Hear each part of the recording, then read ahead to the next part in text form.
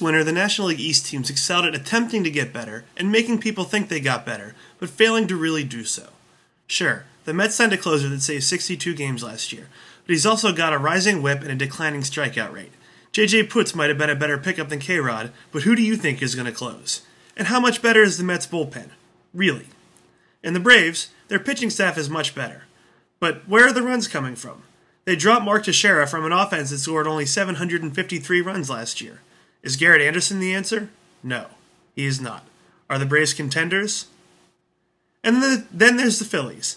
Their strategy to improve this offseason apparently consisted of replacing Pat Burrell with Raul Ibanez, who's worse than Burrell, only they're paying him more money than Bur- Burrell eventually signed for. That and having Cole Hamels remind everyone over and over again that the Phillies won the World Series. Did you know the Phillies won the World Series? They totally did.